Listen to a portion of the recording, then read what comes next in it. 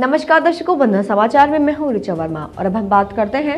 उत्तर प्रदेश राज्य के जिला बिश्नौ स्थित अफजलगढ़ की, जहाँ से हमारे संवाददाता मोहम्मद शोएब से मिली जानकारी के अनुसार अफजलगढ़ में शासन के आदेश पर एसपी डॉक्टर धनवीर सिंह द्वारा महिलाओं, बालिकाओं की सुरक्षा के लिए सक्रियता बरतने के निर्देश दिए गए हैं।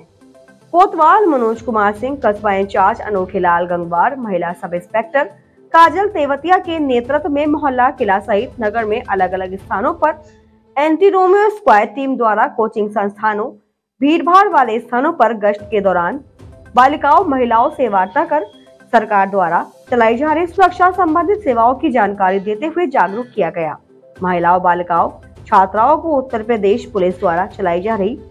सुरक्षा संबंधित सेवाएँ, जैसे कि वुमेन पावर हेल्पलाइन नंबर दस नब्बे,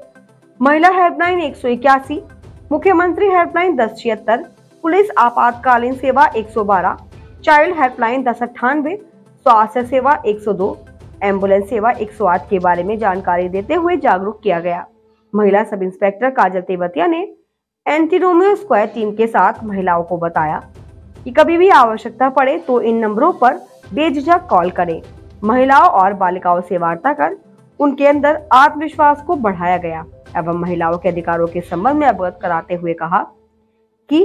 हर थाने में महिलाओं की सुरक्षा सहायता के लिए महिला हेल्प डेस्क बनाया गया है, जहाँ पर महिला पुलिसकर्मी द्वारा महिलाओं की शिकायतें सुनी जाती हैं तथा समय से उनका निस्तारण भी कराया जाता है। इस अवसर पर कांस्टेबल राहुल चौधरी, विकास बाबू, सचिन कुमार, शैलेंद्र कांत तथा महिला कांस्टेबल सुनीता रानी, सुमन रानी, आरती देवी सहित चांदनी, सरबजीत कौर, शीतल बलजिंदर कौर, सोनी, दीपा, आलिया, साबिया परवीन आदि उपस्थित रहीं।